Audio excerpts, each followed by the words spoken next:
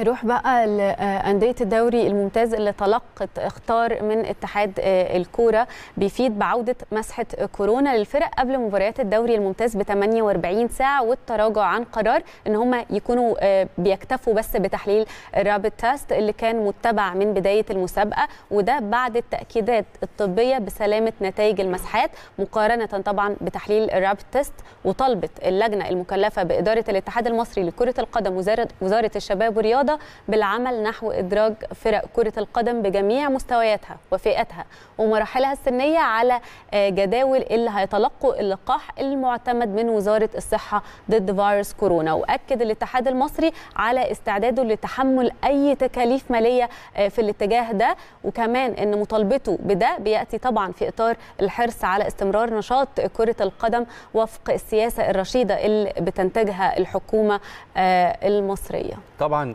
يعني يعني هو القرار ده قرار بديهي جدا ومنطقي جدا وكان الحقيقة في علامات استفهام كتيرة جدا على فكرة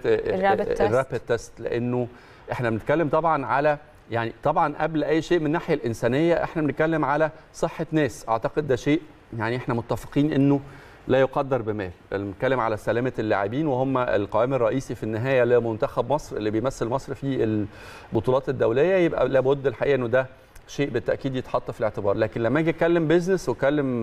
فلوس وأتكلم استثمارات أنا بتهيالي إنه رياضة كرة القدم على مستوى مصر هي الرياضة الأنجح اقتصاديا سواء ده كان بالنسبة لاتحاد الكورة أو سواء ده كان بالنسبة للأندية أو سواء ده كان بالنسبة للاعبين أو سواء ده كان حتى بالنسبة للإعلام الرياضي. وبالتالي توقف المنظومة دي هيكون خسارة عنيفة جدا للمنظومة ككل. وبالتالي